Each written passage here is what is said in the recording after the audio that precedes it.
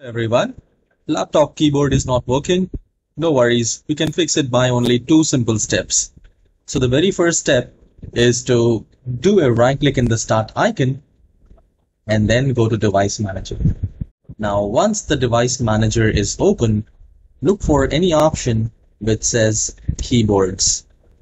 Now here I can see the keyboards and you will have uh, two or three or more than three uh, devices here so you need to look for your keyboard there. So you just need to do a right click and click on update driver and then click on search automatically for drivers. Now, if you're not sure which is your laptop keyboard device, then uh, what you can do is you can update one by one and see if that works for you. So mostly this standard PS2 and HID keyboard device is the main device for keyboard, I driver. So you just need to right click and click on uninstall device and click on uninstall and do the same thing for standard PS2.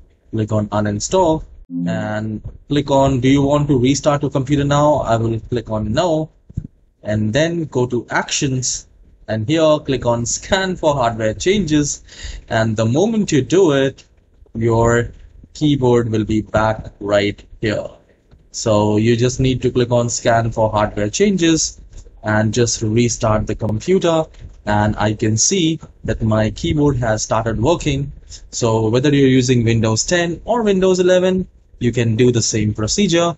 If that doesn't work, you can restart the computer and see if that works for you.